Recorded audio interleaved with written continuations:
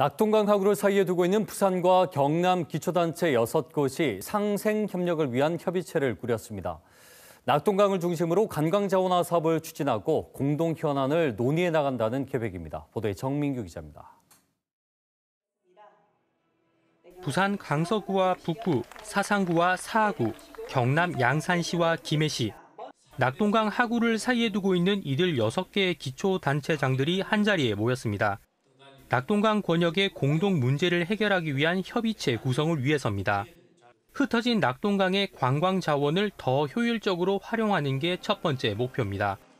관광 자원으로서의 잠재력도 매우 우수해 인프라 조성 등 주민들의 요구와 기대 또한 매우 큽니다. 생활권을 같이 하고 있는 부산, 김해, 양산이 머리를 맞댄다면 그 가치는 더욱 빛날 거라 생각합니다. 기초 단체들이 맺은 협약서에는 낙동강 협의체를 구성하고 생태 탐방성과 수상 레저 사업 등 관광 자원화 사업을 함께 하자는 내용이 담겼습니다. 낙동강과 관련한 현안 문제와 규제 개선에도 뜻을 모았습니다.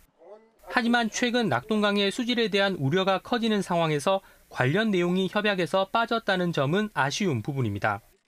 아, 낙동강에 대한 규제 문제, 어, 해소 문제 이런 부분들의 방향을 설정하다 보니까 구체적으로 언급은 되어 있지 않습니다만은 어, 그 문제들도 같이 논의가 되고 있습니다. 참가 기초 단체들은 내년 초 정기 회의를 시작으로 1년에 두 번 정기 회의를 개최하고 수시로 임시 회의를 열기로 했습니다. 또 이를 위한 실무 추진단을 꾸려 올해 말까지 공동 협력 과제를 논의해 나갈 계획입니다. KBS 뉴스 정민규입니다.